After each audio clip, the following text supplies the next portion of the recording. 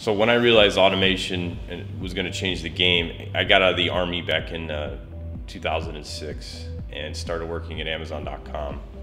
Uh, I spent about two years there, but really just the, the amount of investment that they were making in fulfillment and operations, you could just see that that was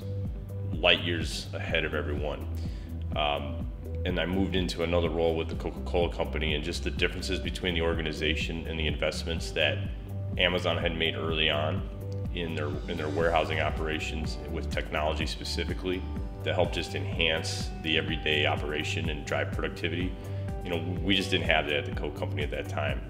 And then, you know, through my career and my time at Coke, you could see the organization start to, to identify the need to make those investments and, and bringing those and leveraging those technologies in our operation.